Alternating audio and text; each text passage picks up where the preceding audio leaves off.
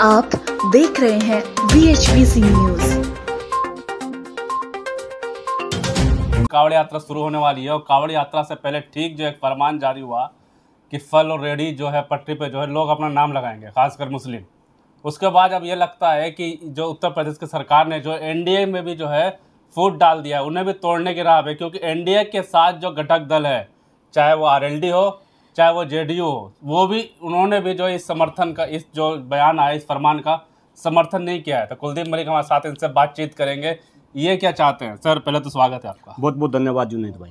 क्या कहेंगे फरमान जो जारी हुआ है किस तरीके से देखते हैं? इसका क्या मायने हैं? देखिए जुनेद भाई चूँकि मैं पश्चिम उत्तर प्रदेश से हूँ मुजफ्फरनगर से हूँ और मैं बचपन से देख रहा जिस तरीके से कावड़ यात्रा सावन के पवित्र महीने में चलती है और जो भोले के भक्त होते हैं वो बहुत ही पवित्र जो हमारी धार्मिक नगरी है हरिद्वार से वहाँ से जो है पवित्र जल गंगा जल लेते हैं और शिवरात्रि वाले दिन जो भी उनका स्थान है वहाँ पे जाके वो उसको जो है चढ़ाते हैं। अगर आप मुजफ्फरनगर की बात करें जैसे ही कावड़िया हरिद्वार से चलते हैं तो हरिद्वार से वे रुड़की होते हुए मुजफ्फरनगर ज़िले में एंट्री करते हैं और मुजफ्फरनगर ज़िले में जितने भी कावड़िया अलग अलग राज्यों को जाते हैं भले ही आप हरियाणा की बात करो आप राजस्थान की बात करो आप दूसरे राज्यों की बात करो सबका केंद्र मुजफ्फरनगर रहता है और जिस तरीके से पूर्व में मेरा अनुभव है मुजफ्फरनगर की पूरी पूरी जनता उन कावड़ियाओं की जिस तरीके से सेवा करती है। देखिए बिल्कुल सच्चाई से बता रहा डॉक्टर सेवा करते हैं बिल्कुल मैं सारी बात बताऊँगा जुनेद भाई सारी बताऊँगा। जिस तरीके से डॉक्टर कुलदीप मलिक आप जानते हो भाई मैं तो बिंदास आदमी बिल्कुल सारी की सारी बात जो है बिंदास तरीके से बोलता हूँ। मुस्लिम भी सेवा करते हैं और मैं बताऊँ मुजफ्फरनगर के अंदर मीनाक्षी चौक का आपने नाम सुना होगा। अगर आप मीनाक्षी चौक से थोड़ा आगे बढ़ेंगे तो खालापार एक जगह आती है जो मुस्लिम बहुल्य क्षेत्र है। और मेरा भी कई साल का अनुभव है कि जब कावड़ यात्री जो है शिव चौक और मीनाक्षी चौक से आगे बढ़ते हैं तो मुसलमान लोग तो वहाँ पे जो है लंगर लगाते हैं उनकी सेवा करते हैं। और जुनेद भाई मैं आपको बा, बात बताऊँ गर्व है मुझे कि मैं पश्चिम उत्तर प्रदेश मुझे मुजफ्फरनगर से आता हूँ। और मुझे मुजफ्फरनगर के लोग इन कावड़ यात्रियों के ऊपर जो भोले के भक्त है इनके ऊपर मैं डाटा देख रहा था। लगभग ध्यान से सुना जरा हिंदुस्तान के 143 करोड़ लोग लगभग एक हज़ार करोड़ रुपए इनकी भक्ति में खर्च करते हैं मुजफ्फरनगर के लोग। लेकिन इस तरीके से आप इस कावड़ यात्रा को भी हिंदू मुस्लिम का रंग दे देंगे आप इस तरीके का फरमान जारी कर देंगे भाई मैं तो अपने आप में शर्मसार हूँ कि मुझे आज आपको इस तरीके से इंटरव्यू देना पड़ रहा और ऐसे फरमान के ऊपर मैं नाम अपना लगाने में दिक्कत क्या है? नाम लगा दीजिए। नहीं भाई, एक बात बताओ, दिक्कत तो ये है कि सारा का सारा अच्छा ऐसा क्यों करा जा रहा जुनेद भाई? आप तो एक युवा पत्रकार है, आपको भी पता होगा ऐसा क्यों करा जा रहा? ऐसा इस वजह से करा जा रहा कि जो भोले के भक्त आते हैं, उनकी पवित्रता बरकरार रहे। और पवित्रता, यानी कि जो मुस्लिम लोग हैं, अगर मुस्लिम लोग से वे कुछ खरीदेंगे, कोई फल खरीदेंगे, किसी ढाबे के ऊपर खाना खाएँगे, किसी होटल में रुकेंगे तो क्या मुस्लिम लोग ही भोलों की जो है पवित्रता भंग करेंगे? क्या मुसलमानों से हिंदुओं की पवित्रता भंग होगी और आने वाले टाइम में हिंदुओं से मुसलमानों की पवित्रता भंग होगी? कहीं ना कहीं ये बड़ा क्वेश्चन है। आप धर्म के आधार पर अगर इस तरीके से बांटोगे इस तरीके की नफरत फैलाओगे तो आने वाले टाइम में ये देश कैसे चलेगा इस देश का अस्तित्व कैसे बचेगा? कहीं ना कहीं ये आज अपने आप में बहुत ही गंभीर बहुत ही सोचनी बांटने की कोशिश की जा रही है कि आपस में फिर से एक बार? क्यों? आपको नहीं लगता? भाई मुझे एक बात बताओ अब तक ये कावड़ यात्री चलते नहीं थे क्या? अब से पहले ऐसा फरमान क्यों नहीं जारी हुआ? और जब ये फरमान जारी नहीं हुआ तो क्या ये कावड़ नहीं चलती थी? लेकिन अब जब से भारतीय जनता पार्टी की सरकार आई और खास तौर से ये पश्चिम उत्तर प्रदेश के लोगों को हिंदू मुस्लिम के चंगुल में फंसाना चाहते हैं, भारतीय जनता पार्टी वाले इस बात को अच्छे से सुने कि अब पश्चिम उत्तर प्रदेश के लोग हिंदू मुस्लिम के जंजाल में नहीं फंसनेंगे। ये फंस गए थे 2013 में, दंगे हुए थे आपने अपनी राजनीति की रोटी सेकी और जिस भारतीय जनता पार्टी को कोई पूछने वाला नहीं था, वो भारतीय जनता पार्टी 2013 के दंगों पे जो है विश्व की सबसे बड़ी पार्टी बनेगी और हमारे क्षेत्र से ऐसे ऐसे नेता निकल गए जुनेद भाई अगर बताऊँ वे गाँव के अंदर प्रधान बनने लायक नहीं थे लेकिन वे सांसद बन गए वे जो है केंद्र में मंत्री बन गए लेकिन ऐसा केवल और केवल हिंदू मुस्लिम के दंगे से हुआ और उनमें नेताओं का भला हुआ। एक भी पश्चिम उत्तर प्रदेश के लोगों को कोई भला हो तो आप मुझे बता दो अब पश्चिम उत्तर प्रदेश के लोग इस बात को भली भांति समझ गए। इस फरमान से टूटेगा क्या एनडीए क्योंकि एनडीए का घटक दल चाहे जेडीयू हो चाहे आरएलडी हो।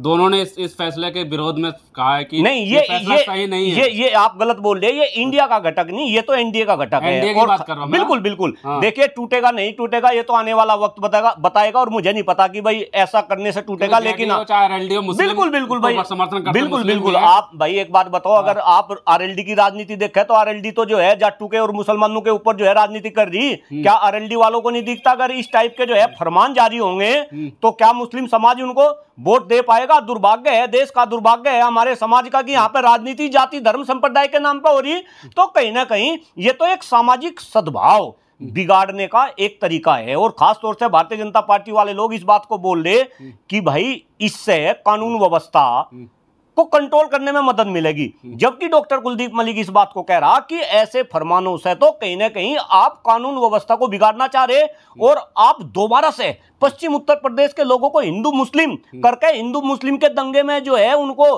डालना चाह रहे। लेकिन मैं धन्यवाद दूँ जिस तरीके से ये फरमान आया और जिस तरीके का विरोध पश्चिम उत्तर प्रदेश के लोग कर रहे भाई मेरा तो दिल दिल गदगद है और कम से कम इन्हें भारतीय जनता पार्टी वालों को यह समझना चाहिए कि जिस तरीके की चाट इन्हें मारी है पश्चिम उत्तर प्रदेश के अंदर। अरे, इनका तो सुपड़ा साफ़ कर दिया जुनेद भाई। आप सहारनपुर को देखो, आप करानो को देखो, मुजफ्फरनगर को देखो। फिर ये तो भला हो, यहाँ राम जी थोड़ी सी बोट्टू से जीत गए। पश्चिम उत्तर प्रदेश से तो इनके ऐसी चाट मार दी। लेकिन अभी भी मुझे ऐसा लग रहा है, ये चाट इन्हें सबक नहीं सिखाया। अगर भारतीय जनता पार्टी वाले इसी तरीके के फरमान जारी करते रहेंगे तो आने वाले समय में जरा ध्यान दे, बहुत गंभीर बात बोल रहा। गृह मंत्री है हमारे अमित शाह जी। वे दो तीन साल पहले ये बोल रहे थे कि ये देश कांग्रेस मुक्त कर देंगे ये देश कांग्रेस मुक्त कर देंगे। ऐसा ना हो अगर इसी तरीके के फरमान आप जारी करते रहे तो ये देश भारतीय जनता पार्टी मुक्त ना हो जाए। आपको इस बारे में सोचना पड़ेगा। और आप हिंदू मुस्लिम की बात करते हैं अरे डॉक्टर कुलदीप मलिक से पूछ के देखो ये ऊपर बेटी और रोटी का रिश्ता जोड़ते हैं और नीचे ये हमें आपस में लड़वाते हैं। ये अंग्रेज़ों की तरीके से फूट डालो शासन करो की नीति पर चलते हैं। लेकिन डॉक्टर कुलदीप मलिक को फक्र है कि अब हिंदुस्तान के 143 करोड़ लोग इस भारतीय जनता पार्टी को बहुत अच्छे से समझ इस फरमान के बाद अमित शाह की बात की आपने इस फरमान के बाद सो कहीं ना कहीं अमित शाह भी अब सोचने में मजबूर होंगे। कुछ दिन पहले खबर चल रही थी कि योगी आदित्यनाथ को कुर्सी से हटाया जा सकता है। अब जैसे ही ये फरमान जारी हुआ दो घटक जिस कुर्सी पर जो कुर्सी मान लो आर एल डी जेडीयू जिससे सरकार बनी है एनडीए के मोदी जी प्रधानमंत्री बने अब वही खतरे में डाल दिया योगी जी ने इस फरमान से। क्या लगता है? देखिए श्रीमान जी जहाँ तक योगी जी की बात है भाई उत्तर प्रदेश के अंदर योगी जी के ज़बरदस्त प्रशंसक है। अब आप ये नहीं पूछना कि भाई मैं भी प्रशंसक हूँ या नहीं हूँ लेकिन जिस तरीके से उत्तर प्रदेश के अंदर योगी जी काम कर रहे हैं बिल्कुल उनकी अपनी डबडी अपना राग है कानून व्यवस्था की बात बढ़ाई है वहाँ पर नहीं बिल्कुल नहीं। नहीं भाई दिल्ली में टेंशन बढ़ाई नहीं बढ़ाई लेकिन लोगों के बीच में भी टेंशन बढ़ी। आप ये देखो इस फैसले का समाज के अंदर क्या जो है आप संदेश दे रहे भाई आप एक बात बताओ मैं जगह जगह कल से कई जगह ये बात बोल चुका अभी एक हमारे यहाँ हिंदुस्तान के अंदर शादी हुई। उस शादी में सारे के सारे नेताओं ने सारे के सारे अभिनेताओं ने कदम ताल करी। वहाँ पे क्या मुस्लिम लोग खाना बनाने वाले नहीं थे खाना परोसने वाले नहीं थे? भाई कहीं ना कहीं आप ऐसे हिंदू मुस्लिम करके देश को कहाँ लेकर जाना चाह रहे मैं तो एक एग्ज़ाम्पल और दे रहा। रावण जो ये होता है रामायण होती है दशहरे के उपलक्ष्य में वहाँ पर रावण का रोल भगवान राम का रोल भगवान हनुमान का रोल कई जगह राम रामायण के अंदर मुस्लिम समाज के लोग करते हैं मैंने देखा है जो कपड़े वे कलाकार पहनते हैं वे कपड़े सिलने का काम जो है मुस्लिम समाज के लोग करते हैं। इसका मतलब भाई वहाँ पवित्रता कहाँ गई? वहाँ पवित्रता कहाँ गई? और जहाँ तक कांवड़ यात्री की बात है भाई देखो ये हो सके कुछ कांवड़ यात्री मेरी इस बात से जो है नाराज़ हो कुछ हिंदू संगठन मेरी इस बात से नाराज़ हो। मैं तो ये कह रहा जितने कांवड़ यात्री है उनमें से ज़्यादातर मैं सबकी बात नहीं कर रहा ज़्यादातर तो जो है ये नशा करते हैं नशे का सेवन करते हैं। एक एक किलोमीटर पे दारू के ठेके खुले आप जो है आप उत्तराखंड की बात करो हरिद्वार से आगे जितना भी हाईवे है एक दो किलोमीटर की डिस्टेंस आपको कहीं नहीं मिलने की जहाँ दारू का ठेका न खुल्डा हो और वहाँ से जो है दारू वे जो है कावड़ यात्री ना पीते हो वे भाँग ना पीते हो क्या तब पवित्रता आपकी भंगनी होती? अरे कहीं ना कहीं आप धर्म की आड़ में आप राजनीतिक रोटियाँ सेकना चाहते हैं आप पब्लिक को बेवकूफ़ बनाना चाहते हैं लेकिन गर्व है डॉक्टर कुलदीप मलिक को कि अब कहीं ना कहीं हिंदुस्तान के 143 करोड़ लोग इस बात को अच्छे से समझ गए और ऐसा जुनेद भाई ये क्यों कर रहे क्यों कर रहा हूँ? वही तो जानना चाह रहा हूँ। ये पूछो ना ये हाँ। ऐसा इस ऐसा कर रहे हैं ये असली मुद्दों पर नहीं आना चाहते। ये उन मुद्दों पर नहीं आना चाहते जिन मुद्दों पर ये जो है दस साल पहले आए थे, तीसरी बार अब मोदी सरकार नहीं, अब तो एनडीए की सरकार बनी, तीसरी बार मोदी जी प्रधानमंत्री बने, जो इन्होंने 2010 में वादे किए थे, महँगाई का मुद्दा, भ्रष्टाचार का मुद्दा, काले धन का मुद्दा, राजनीति में अपराधीकरण का मुद्दा स्मार्ट सिटी का मुद्दा बुलेट ट्रेन का मुद्दा, किसानों की आमदनी दुगनी का मुद्दा, जो है युवाओं को रोज़गार देने का मुद्दा, ये सारे के सारे मुद्दों, चूँकि पब्लिक इन मुद्दों पे ना बोल सके, कहीं ना कहीं इस वजह से हिंदू मुस्लिम के जंजाल में और मैं तो कह रहा, अभी रिसेंटली दस विधानसभा सीटों के ऊपर चुनाव होने वाले अब इनका टाइट हुई फिक्स कर दी लोकसभा चुनाव में। मैदान तैयार कर रहे हैं क्या उस दस सीटों के लिए? हाँ ये समझिए बात ये दस सीटों के लिए मैदान तैयार कर रहे हैं लेकिन जो इनकी स्ट्रेटजी है ये स्ट्रेटजी गलत है। जुनेद भाई हिंदुस्तान के लोग इस बात को लिख ले कि अभी दस सीटों पे जो उपचुनाव होंगे भारतीय जनता पार्टी तो ये हिंदू मुस्लिम का कार्ड खेलना चाह रही लेकिन ये कार्ड भारतीय जनता पार्टी को उल्टा पड़ेगा और इनका सुपड़ा साफ़ हो जाएगा। और इसके बाद 2027 में फिर चुनाव आ रहे हैं। भारतीय जनता पार्टी वालों को मेरी सलाह है। आपको देश के अंदर हम कुछ काम मैं भी बोलता हूँ मैं भी कभी भारतीय जनता पार्टी का सपोर्टर हुआ करता था और मुझे ऐसा लगता था कि 2010 में जब आदरणीय प्रधानमंत्री नरेंद्र मोदी जी देश के प्रधानमंत्री बनेंगे भाजपा की सरकार आएगी तो वो सरकार नहीं आएगी। सत्ता का परिवर्तन नहीं व्यवस्था का परिवर्तन होगा व्यवस्था परिवर्तन के लिए इन्होंने बड़े बड़े वादे करे थे लेकिन ऐसा कुछ काम हुआ है नहीं व्यवस्था परिवर्तन हुई परिवर्तन कर दिया। नहीं क्या परिवर्तन कर दिया? अरे इन्होंने तो केवल और केवल जुनेद भाई नफरत बढ़ा दी। और आप नफरत बढ़ाओ। देखो ये जो देश है ये एक परिवार की तरीके से है। अगर परिवार के अंदर नफरत बढ़ती जाएगी नफरत बढ़ती जाएगी तो परिवार कहीं ना कहीं खंडित होता होता जाएगा। सवाल ये भी डॉक्टर साहब के कांवड़ यात्रा में युवा ज़्यादातर होते हैं। सत्रह तेरह सत्रह से लेकर पच्चीस साल के बीच में युवा होते हैं। वो युवा ये नहीं सोच सकते किसमें नफरत करना है किसमें भेदभाव करना है। लेकिन ये जब तैयार करके पिच जो दे दी जा रही है कि क्या ये युवाओं के दिमाग में भरा जा रहा है कि इस तरीके से यहाँ नहीं जाना ऐसे नहीं जाना तो युवाओं का भविष्य कहाँ जा रहा है फिर देश का? नहीं नहीं बिल्कुल बिल्कुल जुनेद भाई मैं आपकी बात का बिल्कुल सपोर्ट कर रहा हूँ और खास तौर से हिंदुस्तान के लोग इस बात को समझे कि सरकार को कहीं ना कहीं समानता की बात करनी चाहिए। हम एक पिच पे सबके सब लोग चल, चले अगर सरकार असमानता को बढ़ावे बढ़ावा देगी अगर सरकार फूट को बढ़ावा देगी तो ये काम कैसा चलेगा? और मैं कह रहा कि आप तो ये जो है जाति धर्म पे कुछ दिनों तो तक के लिए तो आप अपनी राजनीतिक रोटियाँ सेक सकते हैं लेकिन आने वाले टाइम में इसके जो दूरगामी परिणाम होंगे वे बहुत ही खतरनाक साबित होंगे। इस देश का अस्तित्व खतरे में आएगा। जहाँ तक आप युवाओं की बात कर रहे हैं जितने युवा चल रहे मैं फिर कह रहा अरे इन युवाओं के लिए ये सरकार क्या कर रही बेरोजगारी आज चमर चरम सीमा पे है। युवाओं का आप स्वास्थ्य देख लो। हमारे क्षेत्र के पश्चिम उत्तर प्रदेश के बच्चे जो युवा होते थे वो जब चलते थे तो धरती हिलती थी। अब जुनेद भाई मैं बता रहा चूँकि मैं तो अलग अलग युवाओं के बीच में रहता हूँ अगर एक घंटा युवा अभी मैं शामली के अंदर था चार दिन पहले वहाँ पे जो स्कूल के अंदर परेड होती थी मेरे सामने युवा बच्चे खड़े थे चार बच्चे उनमें से गसा खा के गिर गए ऐसा बच्चों को स्वास्थ्य हो गया। भाई वे महँगी महँगी शिक्षा लेकर प्राइवेट स्कूल में पढ़ेंगे शिक्षा इतनी महँगी कर दी इसके बाद उन्हें नौकरी नहीं मिलने की स्वास्थ्य उनका सही है नहीं देश के अंदर सांस लेने के लिए हवा नहीं छोड़ी पीने के लिए पानी नहीं छोड़ा खाने के लिए सुख खाद्यान्न नहीं छोड़ा शिक्षा व्यवस्था अच्छी नहीं छोड़ी और कहीं ना कहीं युवाओं को इस तरीके से आप पथ भ्रष्ट करेंगे उन्हें जो है धर्म के जंजाल में फंसाएँगे। और जुनेद भाई ये गंभीर बात कह रहा यह भी सुने जरा हिंदुस्तान के लोग जब इस कालखंड का इतिहास लिखा जाएगा तो भारतीय जनता पार्टी जो हम हिंदूवादी पार्टी बोलते हैं हिंदू के लिए सबसे ज़्यादा नुकसान पहुँचाने वाली पार्टी के रूप में शामिल होगी। जो काम इन्हें करने थे याद दिला रहा जरा देश के प्रधानमंत्री सूबे के मुख्यमंत्री इस बात को सुने। आपको काम क्या करना था? आपको देश के अंदर सम शिक्षा व्यवस्था लानी थी। हिंदू का बच्चा, मुस्लिम का बच्चा, सिख का बच्चा, ईसाई का बच्चा एक जगह पढ़ता आपको देश के अंदर जनसंख्या नियंत्रण कानून बनाना था। आपको देश के अंदर स्वास्थ्य सुविधाओं को सुधारना था। आपको देश के अंदर बेरोजगारी को खत्म करना था।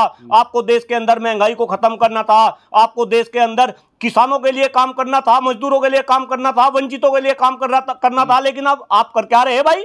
आप काम कर रहे हैं आपको दिखाई नहीं देता। ना मैं तो पागल हूँ मैं तो दुष्ट हूँ मैं तो धूर्त हूँ अरे पढ़ा लिखा आदमी हूँ जुनेद भाई आप क्या बात कर रहे हैं? मतलब हमें नहीं दिखता। आप भी उल्टी पट्टी हमें पढ़ाएँगे। नहीं प्रधानमंत्री दिन रात लगे हुए योगी जी दिन रात लगे हुए आपको क्यों नहीं दिख रहा कुछ काम? हाँ बहुत काम हो गया बहुत काम हो गया जुनेद भाई गलत आपको भी बात बुरी लगेगी। हम्म, बेरोजगारी चरम पे है आप भी बेरोजगार है। अगर आपको भी रोज़गार मिलता प्लीज़ मेरी बात आप आज जिस तरीके से युवा अरे युवा नशे की लत में जो है इन्होंने जो है नशे की लत युवाओं को डाल दी। गाँव गाँव के अंदर दारू के ठेके खुले एक ठेका नहीं दो ठेका नहीं तीन तीन ठेके गाँव के अंदर दारू के अंदर जो है खोल रखे और युवाओं को जो है धर्म की अफीम पियाई पियाई जा रही। अरे युवाओं को अगर अच्छा रोज़गार मिलता उनका स्वास्थ्य अच्छा होता ये देश तब विश्व गुरु बनता। गुलाम था पहले औरंगज़ेब के गुलाम था बाबर का गुलाम था मुगलों का गुलाम था आज़ाद कर दिया इन्होंने। हाँ अब अब आ जाओ बना दिया ना ना ना हम तो नहीं मानते भाई जुनेद भाई हम नहीं मैं नहीं आपके चंगुल में फंसने का मैं नहीं फंसने का। नहीं। नहीं कौन कौन कह रहा है इस बात बीजेपी के नेता कहते हैं। अरे बीजेपी के नेता क्या कह रहे क्या नहीं नेताओं की सुन कौन रहा? मुझे एक बात तो बताओ इन भारतीय जनता पार्टी वालों की सुन कौन रहा? भारतीय जनता पार्टी वालों की सुन रहे थे आज से दस साल पहले जब ये वादे कर रहे थे और हम इनके चंगुल में फंसते जा रहे थे मैं तो वादे अभी गिनवाए ना। अब इनकी सुन कौन रहा? अब तो मुझे ऐसा लगा जब प्रधानमंत्री जी भाषण दे रहे। हम्म, फिर नहीं प्रधानमंत्री तक की कोई कोई नहीं सुन रहा। आपने सुनते? ना मैं नहीं सुनता? मैं नहीं सुनता? हम्म, मैं नहीं सुनता? क्यों? अरे एक बात बताओ जो वादे करे थे वे वादे पूरे नहीं हुए। अब तो प्रधानमंत्री जी की जो बॉडी लैंग्वेज है जुनेद भाई बिल्कुल हकीकत बता रहा। भाई वो बॉडी लैंग्वेज भी ऐसा लगे जो कर कोई मदारी है मदारी पना कर करके फंसा फंसा के लोगों को कुछ दिखाना चाहता हो ना तो अब तो उस तरीके की इमेज से गए नहीं नहीं नहीं नहीं नहीं। आया था मोदी जी ने इतने मुश्किल से फिर सो गया नहीं आय हाय अरे मैं कह रहा अब तो जनता जाग अब तो जनता जाग मोदी जी ने तो सबको सुहा दिया था। मोदी जी ने तो जिस तरीके के वादे करे थे सब सो गए थे। लेकिन अब मुझे तो मतलब जब मैं सोचता हूँ ये तो जनता जाग उठी और जनता जाग गई अभी देखो ना अभी क्या हो रहा था लोकसभा के चुनाव में अब की बार फिर से मोदी सरकार 400 पार 400 पार 400 पार क्या करा जनता ने?